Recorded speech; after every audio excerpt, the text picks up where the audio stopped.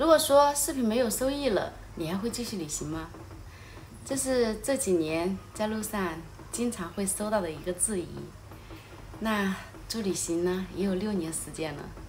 今天很认真的回答一下大家这个问题。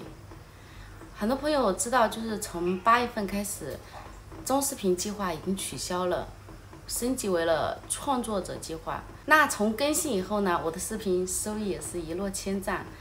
现在仅仅是原来的十分之一，也就是说，以前如果说有一百块钱，现在只有十块钱，甚至几块钱，就低到已经不能再低了。其实说我是旅行博主呢，不如说我是一个生活记录者。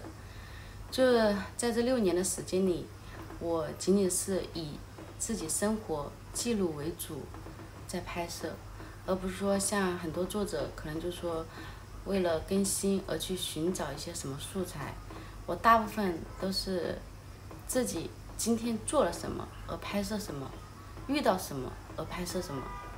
虽然说我的视频质量都不是很高，但是我一直知道我想要的是什么。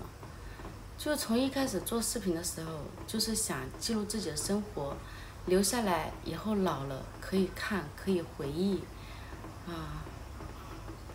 所以这些年呢，基本上就是遇到什么拍什么。我始终记得那一句话：抖音记录美好生活。但现在抖音好像已经忘了它的初衷了，升级为创作者，要求一些更高质量的作者入驻。可能像我们这样的记录型的，慢慢的中间被淘汰。现在的视频收益呢，是完全不能养活我在路上的旅行费用的。但是我会放弃吗？不会。就算以后视频完全没有收益了，我也不会放弃，因为这是我自己给自己定下的目标。就在二一年，当时疫情封控比较严重的时候，给自己定下了要点亮中国地图这个目标。我这几年不管。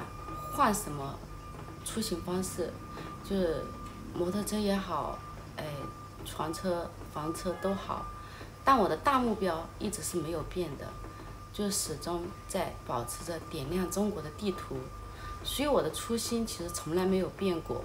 我会直至把中国地图全部点亮完了，再去计划下一件事情，下一个目标任务。这是我的一个缺点吧，就太过于执着，嗯，但我也觉得它是一个优点吧。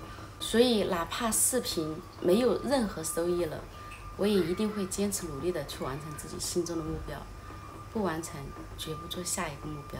那最近家里面的事情呢，也全部忙完了，嗯，牵挂也少了一些。这次出去呢，可能就会等到把地图全部点亮。才会回家了。